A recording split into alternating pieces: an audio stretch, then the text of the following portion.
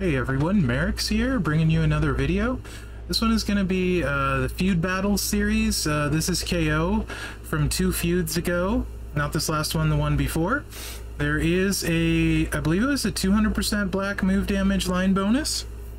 Um, I had the uh, Hogan plate on Rocky. Normally I would, or in the past I had run that on KO, but I wanted to run Rocky that way so people could see Rocky with it.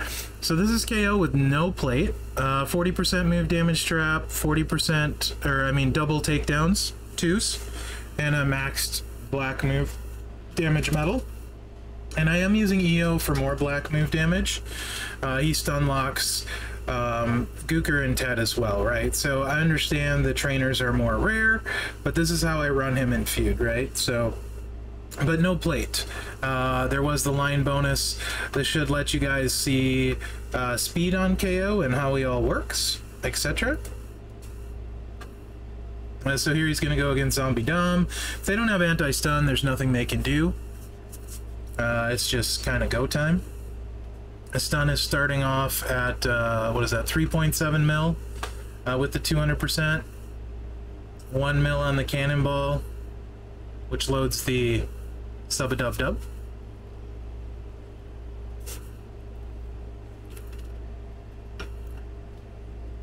I use the sub simply to load, not drain. Uh, so I don't I don't want the extra turns of the sub, so I usually put it down in a block uh, so it's done quicker since they're stun locked, there's really no reason for the sub turns. Uh, just keep it going.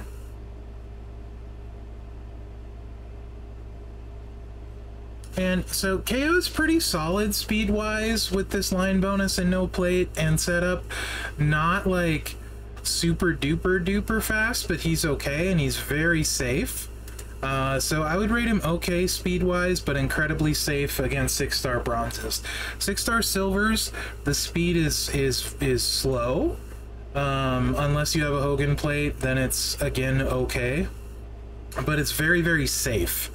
Uh, so if you need somebody that can take out uh, somebody scary, uh, KO is great for that, plate or no plate. Uh, so he'll help a lot of rosters out.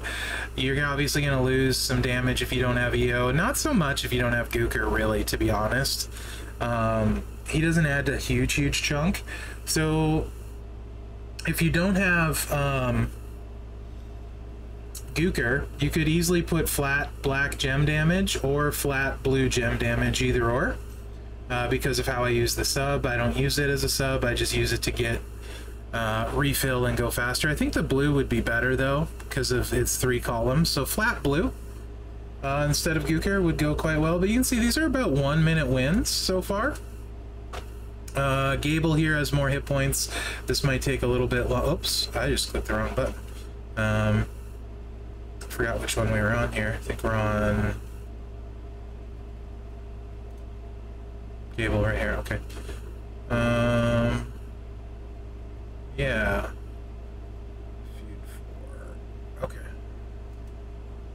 I got sidetracked, don't mind me. Uh, I don't usually do this a lot, voiceover and stuff, so easy for me to click the wrong button. But the gameplay is really simple, uh, and you just keep looping it, right? Now Gable's gonna end up being a little bit longer, but not super long.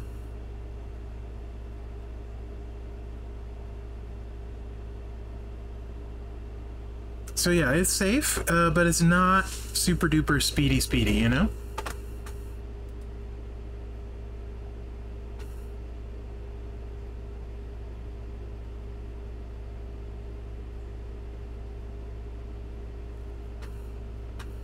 And this will finish it out. So this one was a lot of clicks.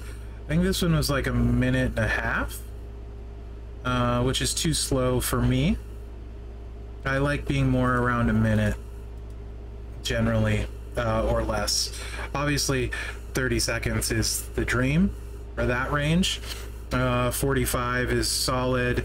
A minute is usable as one of my not what I would call best feeders, but everyone is different. And he is like super duper duper duper safe.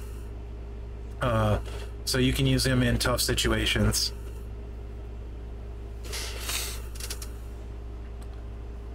So yeah, um, really curious again, guys, as we're going through here and you're watching the KO gameplay, uh, what you think about this series because I've been enjoying Feud more because I have a reason, like potentially outside of just the main um, war score or whatever, to keep feuding and doing stuff. It's kept it more fresh for me a little bit, if that makes sense, because it's doing something useful as well.